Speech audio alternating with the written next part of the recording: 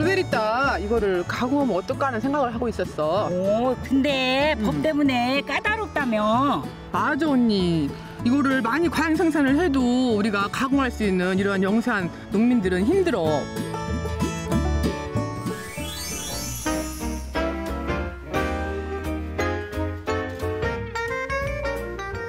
물, 땡, 얼음.